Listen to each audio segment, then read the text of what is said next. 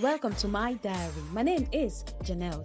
Today's movie is not the usual comedy you find at the cinemas. It's an inspirational true life story of a lady who couldn't keep her pregnancies to term. She kept losing them. Fortunately for her, she had a supportive husband, but a monster in law who was not in support of their marriage. She even advised her son to go out and get another lady that would give him a child.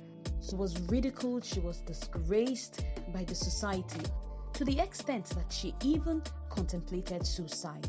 But her PA came to the rescue and bore her a child through IVF, of course. But when her PA lost all that was dear to her, an unpleasant, bitter drama ensued between both of them. And then questions arose over the origin of the child, and then they were also dragging for the custody of the child. Now, there were many twists and turns that you would never ever see in this movie. In essence, this movie delves into the lives of women, of families, of what they go through in search of children, especially surrogacy and its complications. It's a movie that is deep and you would learn something from. There was a scene that just didn't make sense to me. The lady's husband, um, Mene's husband, he went to bed with a towel on his neck.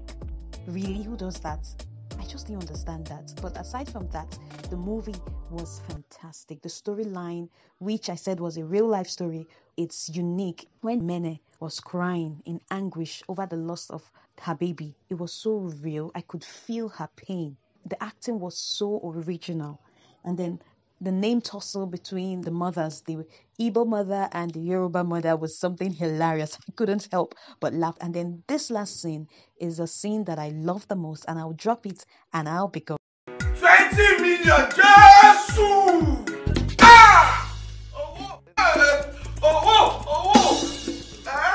Eh? Don't forget to like our page and follow us on all our social media handles.